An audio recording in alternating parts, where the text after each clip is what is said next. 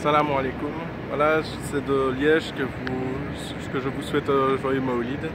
Euh, plus précisément de sa gare, la gare de Liège, qui est connue pour son côté futuriste, comme vous pouvez le voir derrière moi. Voilà, je vous montre un peu. Euh, voilà, c'est une gare euh, qui a été faite par l'architecte Galatrava, qui a été reprise dans le film Les Gardiens de la Galaxie pour son côté futuriste. Voilà pour l'anecdote. Donc pour revenir, pour quitter le monde des formes et revenir au monde du, sans-forme, au monde des sens, comme nous l'enseigne notre voix.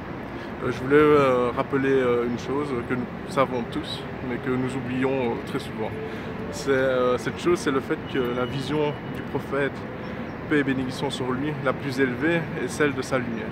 En fait, euh, c'est la vision euh, que l'on reçoit dès le début du cheminement. C'est cette vision-là qui, est la plus élevée.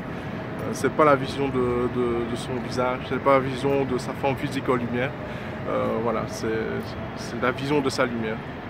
C'est par la vision de cette lumière dans notre cœur, de, sa présence dans notre cœur, que l'on comprend on reçoit la grande nouvelle. Nous aussi, nous avons notre nouvelle, notre, euh, notre prophétie, entre guillemets.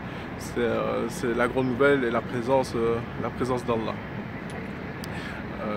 donc c'est par, par son, son entité spirituelle, c'est par la compréhension de son entité spirituelle que nous comprenons Allah. Et c'est ça qui est, c'est ça qui est magnifique. C'est ça qui est magnifique chez notre prophète bien-aimé. c'est que lui-même, dans sa personne qu'elle soit physique ou spirituelle, est en fait le signe de la présence d'Allah. Il est le, parfait confinement de l'absolu, de par sa lumière et de par son physique. Il est l'expression parfaite de, de, l'ensemble des sciences euh, absolues qui puissent exister.